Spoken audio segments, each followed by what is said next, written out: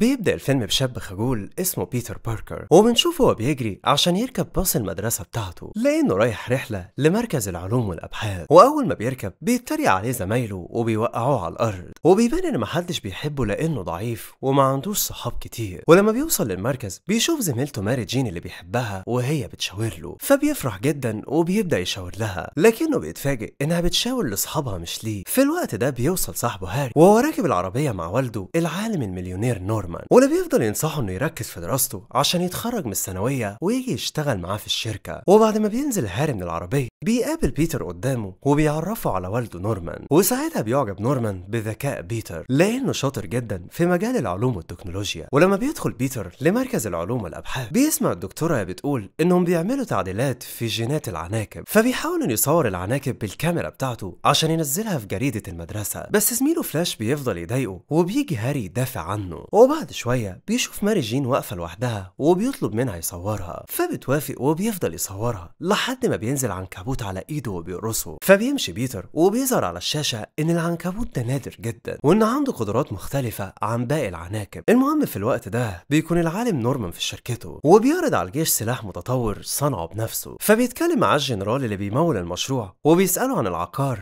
اللي بيزود قوة الإنسان. فبيقول له نورمان إنه جرب العقار ده على الفئران وخلى قوتهم تزيد لأضعاف بس الغريب إن خلاهم عدائيين بطريقة غير طبيعية. فبيهددوا الجنرال إنه مش هيمول المشروع بتاعه لو العقار دوت ما نجحش على البشر. المهم وقتها بيرجع بيتر للبيت وبيكون تعبان جدا لدرجة إنه مش بيقدر يتكلم مع عمه. فبيطلع لأوضته وبيقع على الأرض من شدة التعب. وساعتها بتبدأ الجينات العنكبوت اللي قرصه تنتشر في جسمه كله وبتخلي الخلايا اللي عنده أقوى من الأول بأضعاف. بنرجع بقى تاني لنورمان وهو في شركته وبيقرر إنه يجرب عقار القوة على نفسه. وده عشان الجيش ما يسحبوش منه تمويل المشروع بتاعه. بس أول ما بيشرب العقار بتحصل له تشنجات وبيغمى عليه. فبيحاول المساعد بتاعه يفوقه. بس فجأة بيصحى نورمان وبيخنقه وبيخلص عليه. وبيطلع إن العقار دوت زود قوته الأضعاف وخلاه بني آدم شرير. وتاني يوم بيصحى بيتر وبيلاقي نظره اتحسن جدا وبقى يشوف كويس من غير النضارة. وكمان بيطلع له عضلات وبيحس إنه نشيط وقوي. فبينزل يودع عمه ومرات عمه وبياخد شنطته وبيخرج عشان يروح للمدرسة. وبالصدفة بيشوف زميلته ماري جين وهي خارجة من البيت فبتتخانق مع جوز أمها وبتمشي وهي متضايقة. فبيمشي وراها وبيكون عاوز يصارحها بحبه ليها لكنه بيتردد لما بيشوفها بتركب العربية مع حبيبها فلاش اللي معاها في المدرسة. ووقتها بيلاقي باص المدرسة بيتحرك وبيطلع يجري وراه عشان يركب. وأول ما بيلمس اليافطة اللي في الباص بيلاقيها لزقت في إيده فبيستغرب جدا من الموضوع وبيقرر يروح المدرسة مشي. وساعتها بيدخل هاري للبيت وبيلاقي والده نورمان واقع على الأرض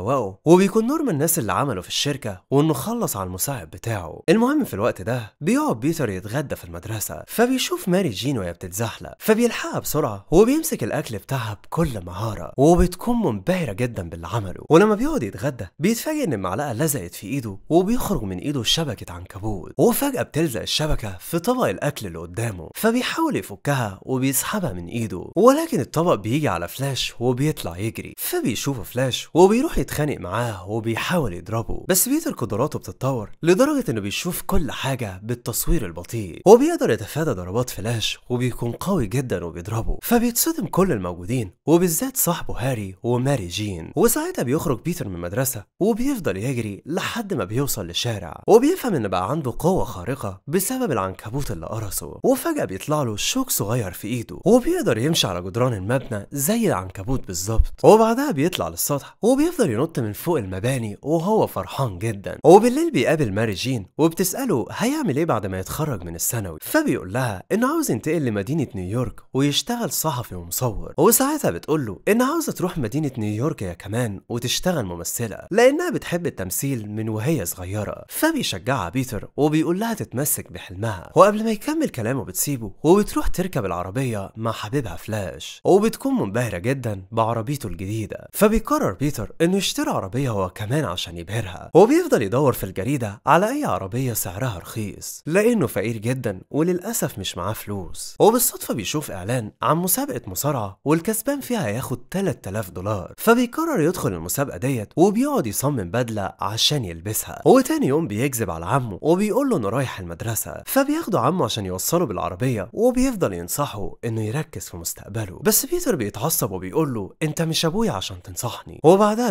بيسيبه وبيروح لمسابقة المصارعة وهو لابس زي عليه رسمة عنكبوت. وهناك بيشوف مصارع قوي بيهزم كل المصارعين ومحدش قادر عليه. ولما بيجي الدور عليه عشان يواجه المصارع بيقدمه المذيع باسم سبايدر مان فبيدخل بيتر للحلبة وبيتقفل عليه بقفص حديدي. وساعتها بيضربه المصارع وبينط بيتر من فوق القفص. وبيفضل يتشقلب وبيضرب المصارع لحد ما بيهزمه بفضل قوته الخارقة. فبيتصدم الجمهور وبيفضلوا يهتفوا باسم سبايدر مان وبعدها بيروح يقابل مدير المسابقة عشان ياخد ال 3000 دولار. ولكن المفاجأة إن المدير بينصب عليه وبيديله 100 دولار بس. فبيخرج من المكان وهو متضايق جدا. وساعتها بيدخل حرامي يضرب المدير وبياخد فلوس المسابقة. وبيطلع يجري قدام بيتر اللي مش بيعمل له حاجة عشان المدير نصب عليه من البداية. ولما بيخرج بيتر من المكان بيشوف الناس كلها متجمعين حوالين عمه. وبيلاقيه للأسف واقع على الأرض ومصاب بسبب إن في حرامي ضرب عليه نار وسرق منه العربية بتاعته. فبينهار بيتر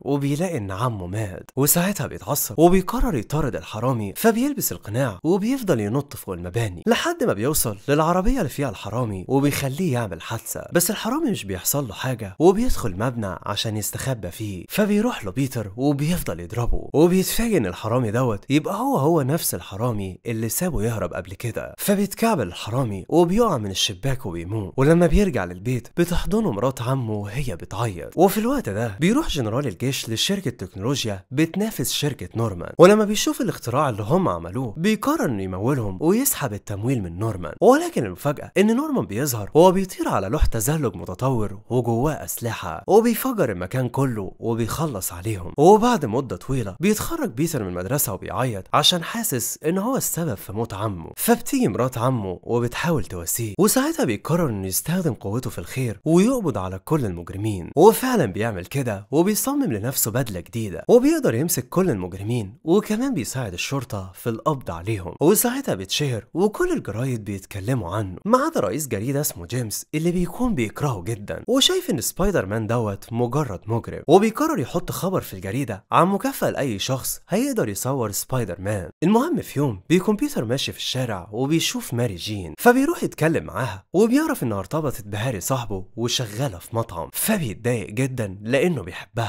وبعدها بيروح يقعد مع هاري في البيت وهناك بيرحب بيه نورمان وبيعرض عليه إنه يجيب له شغلانة. فبيرفض بيتر وبيقول له إنه بيحب يعتمد على نفسه وده بيخلي نورمان يعجب بيه بزيادة وبيشجعه إنه ما يستسلمش. وبالصدفة بيشوف بيتر إعلان في الجريدة عن مكافأة لأي حد هيصور سبايدر مان فبتجيله فكرة إنه يصور نفسه ولابس سبايدر مان وبيضرب الحرامية وبيروح يدي الصور لجيمس عشان ياخد الفلوس. في الوقت ده بيكون نورمان قاعد في الشركة مع شركائه وبيعرفوا إنهم قرروا يبيعوا الشركة بعد الحفلة اللي هيعملوها في المدينة. فبيتعصب عليهم لأنه مش عاوز الشركة تتباع. وبعدها بيبتسم بخبث وكأنه بيخطط لحاجة. المهم في الحفلة بيروح بيتر يصور الحدث دوت. وبيشوف ماري جين موجودة مع هاري. وفجأة بيجي نورمان وهو راكب اللوح الطاير بتاعه. وبيكون لابس قناع عشان محدش يتعرف عليه. فبيفجر المكان وبيشوفه بيتر. وبيلبس بدلة سبايدر مان بسرعة عشان يوقفه. ولكن نورمان بيحدف قنبلة على شركائه وبيخلص عليهم. وبيروح لماري جين اللي بتكون على وشك إنها تقع وبيقرر يوقعها. بس بيجي سبايدر مان يضربه وبينزل يتخانق معاه على الأرض. ولكن نورمان بيكون قوي جدا وبيضربه وبيفضل يجري وراه وبيضرب عليه نار. فبيستخدم سبايدر مان الشبك بتاعه وبيروح ناحية ماري جين عشان ينقذها. ولكن نورمان بيمنعه وبيفضل يضرب فيه. فبيحدف عليه سبايدر مان الشباك بتاعته وبيدمر له اللوح بتاعه. وفجأة بيلاقي ماري جين وقعت من فوق المبنى. فبيروح ينقذها وبيطلعها فوق المبنى تاني. فبتشكره جدا وبتكون مش عارفة إن ده أصلا يبقى بيتر. وبعدها بيسيبها وبيمشي. المهم بالليل بيقابلها بيتر في الشارع وبيفضلوا يتكلموا. ولما بتمشي بيشوف حرامية ماشيين وراها وبيكونوا عاوزين يسرقوها. فبيجي بيتر يدافع عنها وبيضربهم وهو لابس بدلة سبايدر مان لكنه للأسف بينسى يلبس القناع بتاعه. فبتقرب ماري جين عليه عشان تعرف هو مين. بس لحسن حظه الدنيا بتبقى ضلمة ومش بتشوفه كويس. وتاني يوم بتحصل حريقة في مبنى وبيكون في واحدة بتصرخ عشان ابنها جوه فبيجي سبايدر مان ينقذه وبيخرج من المبنى وفجأة بيسمع صوت واحدة بتصرخ وبيدخل تاني عشان ينقذها ولكن بيطلع إن ده نورمان وبيحدف عليه أسلحة عشان يخلص عليه فبيحاول بيتر يتفاداها وبيتعور في إيده وساعتها بيسيبه نورمان وبيمشي وبعد شوية بيروح نورمان مع ابنه هاري لبيت بيتر عشان معزومين عنده وكمان بتكون ماري جين معاهم ولما بيقعدوا على السفرة بيشوف نورمان الجرح اللي في إيد بيتر فبيفهم إن هو سبايدر مان وبعدها بيقرر يمشي. ولكن هاري بيروح وراه عشان يمنعه. وبيقول له إنه عاوز يقعد معاهم عشان يعرفه على حبيبته ماري جين. فبيقول له نورمان سيب البنت ديت لإنها فقيرة. وإن أكيد مرتبطة بيه وبتستغله عشان هو غني. فبتسمعه ماري جين وهي متضايقة وبتقرر تنفصل عن هاري. وبالليل بيهاجم نورمان على مرات عم بيتر وبيبدأ يخوفها عشان بيتر يكشف عن هويته. فبتتنقل للمستشفى وبيروح بيتر يطمن عليها وبتقول له إن في واحد لابس قناع أخضر هجم عليها فبيعرف إن خلاص هويته اتكشفت.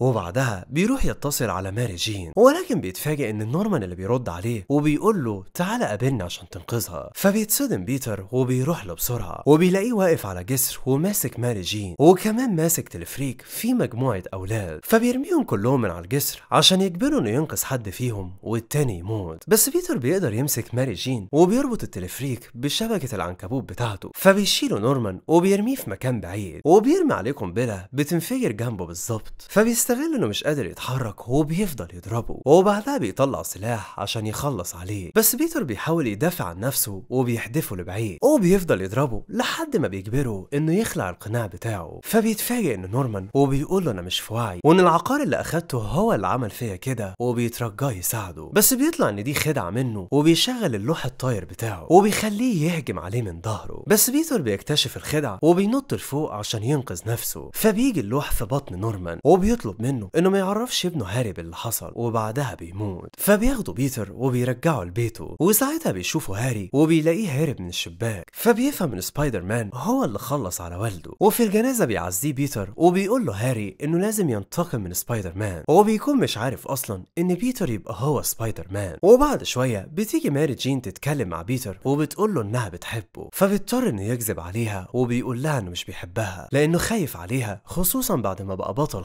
خارق وبيواجه الأشرار وبيخلص الفيلم. لو عجبك الفيلم بقى اعمل لي like للفيديو واشترك في القناة. وعلى فكرة أنا عملت قناة تانية وسميتها Overdose أفلام. وهسيب لكم الرابط بتاعها في وصف الفيديو. خش بقى خد لك جولة فيها وما تنساش الاشتراك. مع السلامة.